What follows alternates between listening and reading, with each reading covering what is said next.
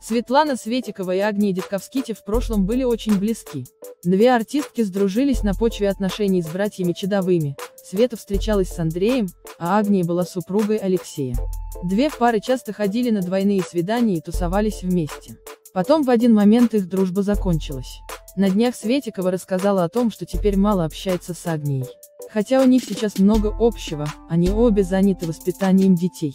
У Светиковой подрастают два сына, Милан и Кристиан. А у Агнии есть ребенок от брака с Чадовым, Федор и малыш, которого она скрывает от публики.